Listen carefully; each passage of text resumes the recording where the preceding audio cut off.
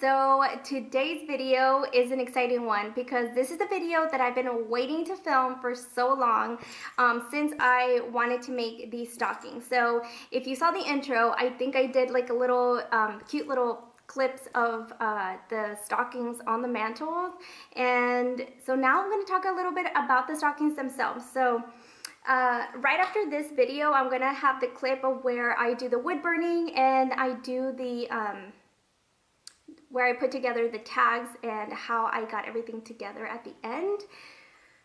But right now I want to talk about the stockings. So these are these are the stockings. This is my son's. This is Henry's. And I actually I added the jingle bell right last minute. So I found this one in my um, craft drawer. So I went ahead and added and I feel like it gives it a nice little Christmas touch and it does jingle.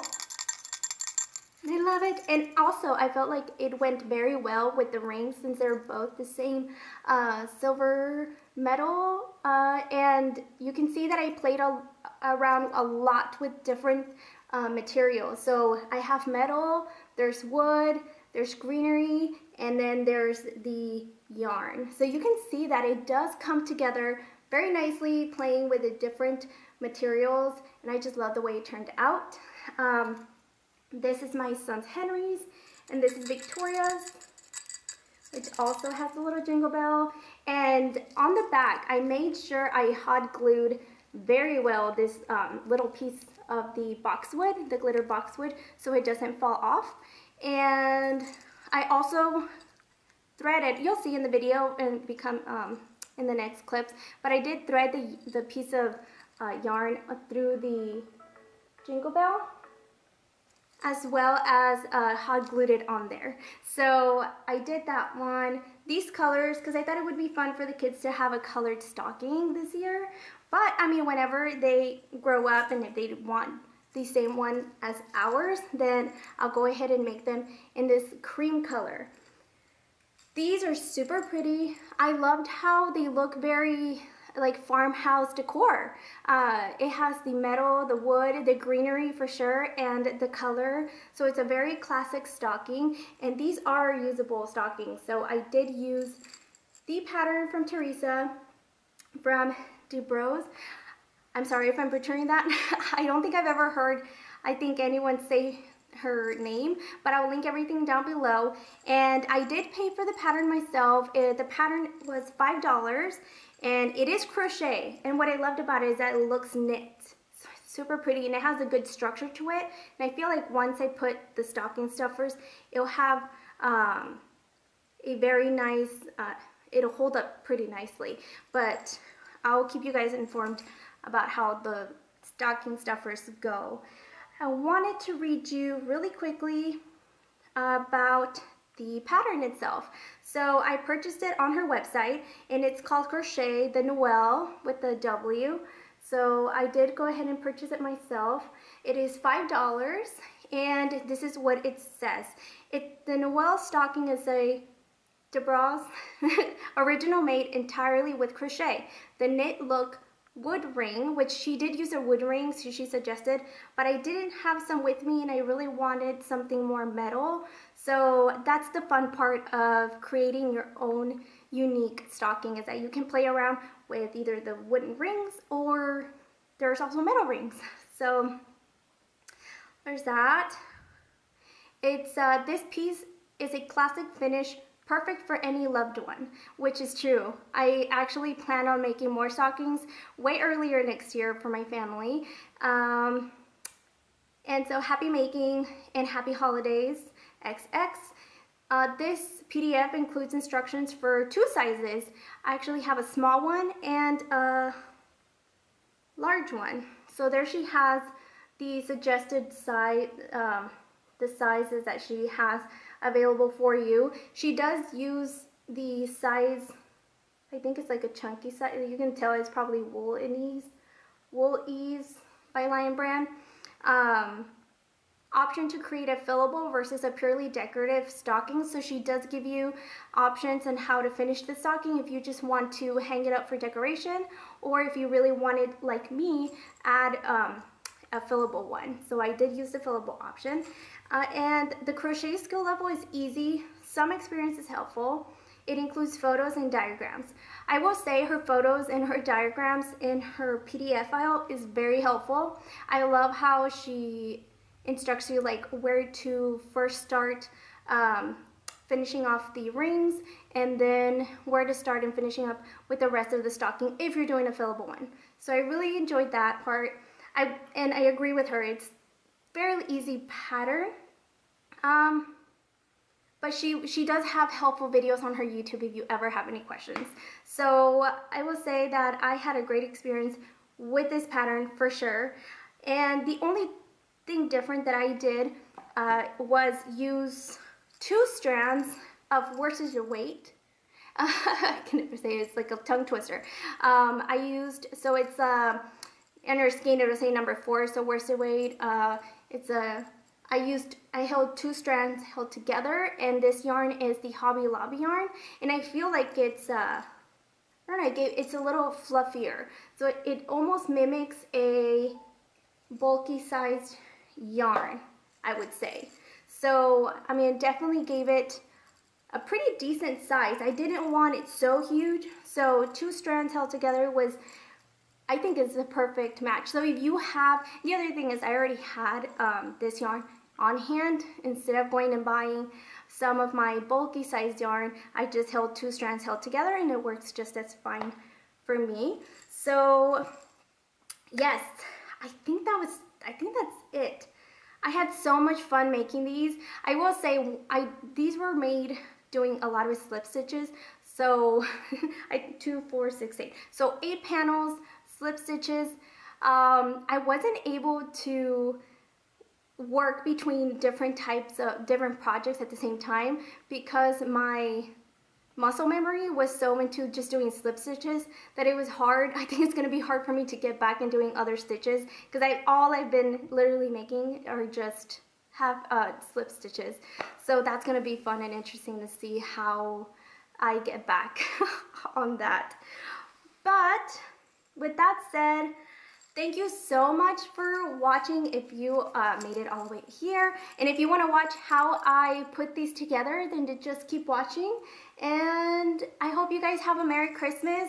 I will, won't be posting another video until after Christmas. I'll be spending it with my family. So I hope you guys have a nice, nice Christmas. And yeah, I'll see you guys on my next video. Bye.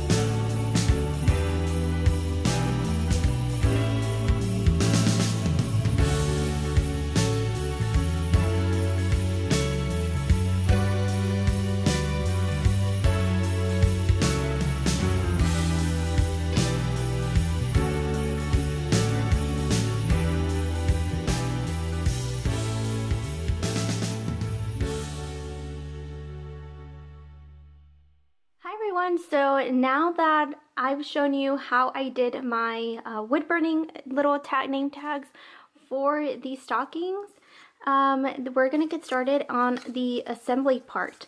So you can also, you don't have to use the wood burning tags. Um, you could also just have some tags and then write it in with a marker, which is what I did with the, after I finished, I did go over the names with a dark brown color pencil, if you can see, just to intensify the um, the name on it. And these are how they turned out.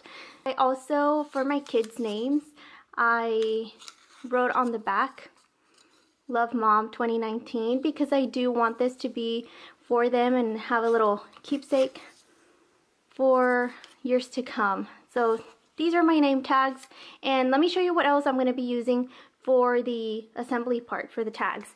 So this right here I found at Walmart. It is a glittered boxwood um, faux leaves and this was only 97 cents at Walmart. So that was fun. That was a really great find because I only need four of these little stems which I'm going to be adding to the back of the tag. I'm using some twine um, or rope or cotton yarn. Uh, I also went ahead and grabbed these from my craft um, drawer. Uh, I had some jingle bells left over from a few years back. I used some scissors and right over here I have a glue gun um, that is heating up ready to go. Hey guys, so I am on my uh, last two stockings to decorate and I want to show you how I ended up decorating them. This is Victoria's and this is Henry's. So I think I found a really nice way to incorporate the little jingle bell with the star and the little boxwood Here is my 12 inch um, rope. And I'm going to go ahead and do mine. And I do need a needle to thread this through the little hole star. And if I could go back and do the, and drill the holes, I would do two so I can insert it like a button. Um, so I can insert two so the rope wouldn't show on the side, but that's okay. Um, we, you guys will learn um, from how I did it. so that's, I think I would make those two little holes so the button, like a little, two little button holes. Um, but this works out too. So what I'm going to do now is put the jingle bell through here, insert it right there. Let me go ahead and zoom you guys in just to show you. So I'm going to zoom it up, zoom it in, and I'm going to even out this rope like this. And when I hang my stockings, they kind of hang at like an angle like this. So what I'm going to do and how I placed it on my kids also is over here in this corner that is the highest. Like now I want to hold this little jingle bell in place. So this is where my handy glue gun comes in hand and please be careful if you're using one. But I just go ahead and add some glue and I just hold it on and just hold it for a few seconds until you feel like it's dried and it's pretty steady. Okay, and I mean that was fast, that was super quick. So now, now if you remember seeing, I actually cut these in, there were five little, um, I guess, branches um, on that uh, boxwood leaf that I found at Walmart. Let me zoom you guys out. And so I did need my gardening scissors, uh, gardening shears, because it is wired. So you can cut this up as little or as big as you want. I chose to keep keep them pretty long, um, pretty big because of the length it already has. Now, this part, I, I don't have my gardening shears right now. So what I do, I just fold this over and I find a good middle middle spot here and I just basically just put glue all over the back of the star definitely uses a lot of glue um, just to make sure it's really stays in place. You get every little inch in there. And like I said, if you have a little cardboard, you can, it helps you get into those little nooks and crannies in the little boxwood uh, branches. So it has a good grasp of, um, it holds on to it. It doesn't come off. So there is how I, and we're basically almost done. All I have to do now is just tie it to the stocking and we're finished.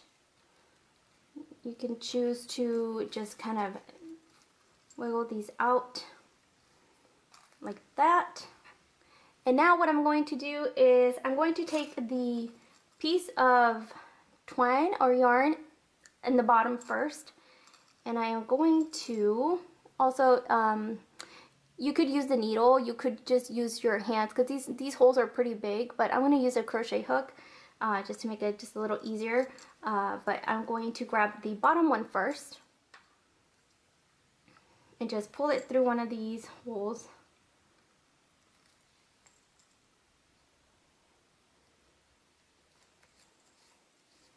Just like that. And then the one on top there. And just pull it. And all I'm gonna do is tie it off. Make a nice knot so it doesn't fall. That's why I like using twine or any kind of cotton one because if you do use like acrylic yarn it might not hold as strong as one of these. And you are nice and secure for a couple more Christmases so you can use this. And then I just weave in any ends to hide them. So, I should have used a little bigger crochet hook, but there you go. It's not too bad. Don't need it to be perfect.